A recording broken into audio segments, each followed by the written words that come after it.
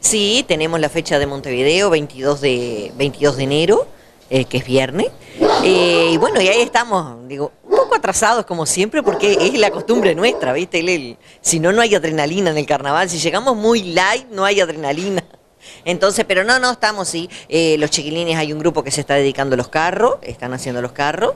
hay otro grupo que está haciendo el taller.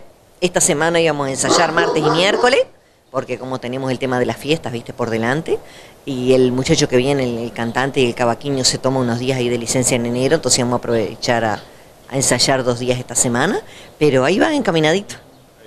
Bueno, ya el tema confirmado, todo, por supuesto, digo, ya muy bien ensayado y todo prácticamente para, para desfilar, y recordamos un poco de qué se trata, ¿no? el tema de este año. Ahí va, el tema de este año, el, título es eh, Anoche tuve un sueño, ¿querés que te lo cuente? Es lo que soñamos habitualmente los uruguayos, todos esos sueños que tenés, viste, con dinero, con el infierno, bueno, todas esas cosas que uno sueña habitualmente los uruguayos, los uruguayos y todo el mundo, ¿no? Digo, eso se va a ver representado en la calle.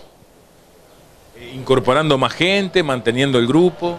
Y vos sabés que siempre algo se incorpora, digo, nosotros digo, no, no queremos explayarnos mucho por el tema de, el tema de, que, de que somos tantos que, después se nos dificulta ir a, otros desfiles, que, te, que tienen la intención de invitarte y que vayas y un tema de viático, digo, no es que, que nosotros ganemos dinero ni que nos quedemos con el dinero.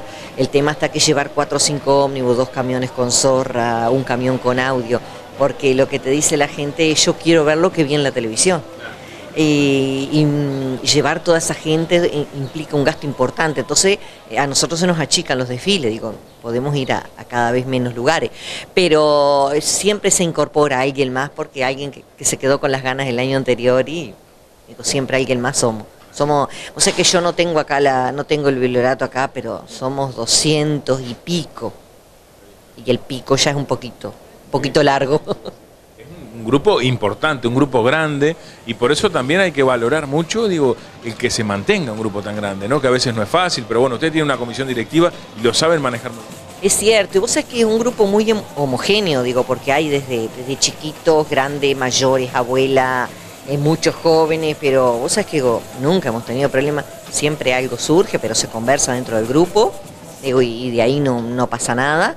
Y por ahora, lo, digo, y es un grupo también que, es que está dentro y fuera del carnaval, porque digo, es un grupo que se sigue reuniendo fuera, digo, ha hecho amistades afuera, entonces hay muchos subgrupos dentro de la escuela, que vos viste las baianas nomás, las baianas ellas festejan todos los cumpleaños, a ver de por haber, ella... Eh, bueno, se, fue un grupo que fuimos porque yo también fui a Buenos Aires, eh, se hicieron la fiesta del parque con los ravioles, entonces esa amistad ya, se, se, forjó dentro de la escuela, pero ya sigue fuera de la escuela.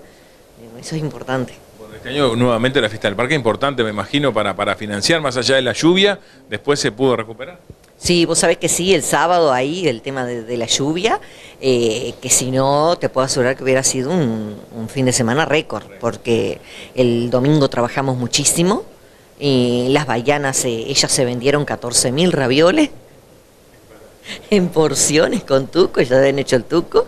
Y, no, no, no fue muy bien, no fue muy bien. Si te digo que todavía no, no tenemos cifras finales, porque mira ahora viene el muchacho de la cooperativa a terminar de arreglar una, una cifra ahí de algo que compramos a media, y, pero no fue muy bien. Es un empujoncito para, para llegar al carnaval que la gente ya invitarle que, que se vaya acordando de la fecha, ¿no? 22 de enero, este, en Montevideo un viernes para, bueno, para ir a acompañar, que siempre la gente de Libertad, y por eso también nosotros estamos acá, está pendiente de conocer esa fecha para ir a acompañar a Liberación. Es cierto, vos sabés que mucha medio Libertad se va a Montevideo, y es lo lindo porque es el primer desfile, entonces bueno, vos ya, ya mirás lo que viene después.